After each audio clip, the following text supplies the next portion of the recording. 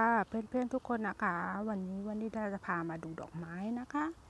ดอกปันจินโตนะคะ สีเหลืองอลามเลยค่ะหน้าบ้านวันนิดาเองนะคะนี่นะคะมีพึ่งกินด้วยนะคะกินน้ำหวานนะ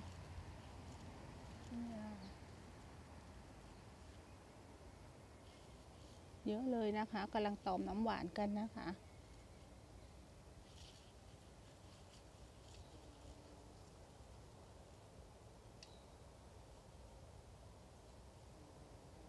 มาชมแบบธรรมชาติกันนะคะ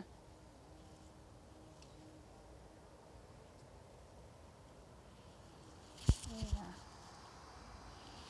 หน้าบ้านวานิดานะคะ